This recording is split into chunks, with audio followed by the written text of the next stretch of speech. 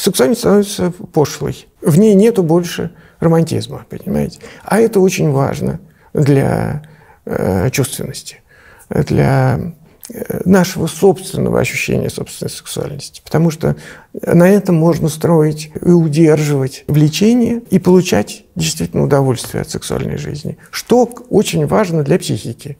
Потому что психика расценивает наличие сексуальной жизни как высокий социальный статус, как, как бы сказать, благополучие, как просто физический контакт. Это очень важно для тела человека, чтобы постоянно был физический контакт.